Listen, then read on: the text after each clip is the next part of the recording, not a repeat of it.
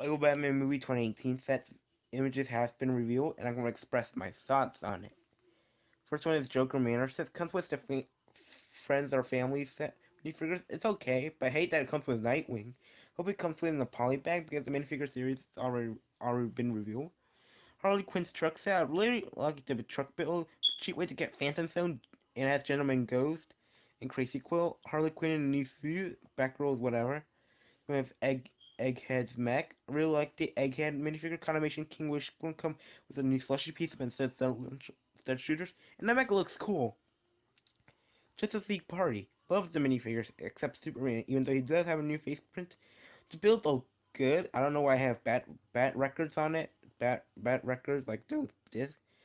And this is Captain Boomer well Batman's Doom Buggy. I really don't care about this one, but it's a cheap weight. But it comes with Captain Boomerang, which is alright. And the Bat Shuttle. Okay, I really love this one, even even the minifigures. But I really hate the main three. I love the Bat suits. And then we have Joker Manor, which I already expressed my thoughts on it. It's a cool build, but I don't think I'll get it anyway. Comes with a combination between the comes with a combination between the Har- the Joker Low Manor minifigures, except without back row. Comes with Barbara Gordon, a new Alfred, Batman, and Nightwing, which I said I hate that he comes with this. I hope comes in release polybag, which I'm already get, even though the Batman came out. And see you next time. Bye.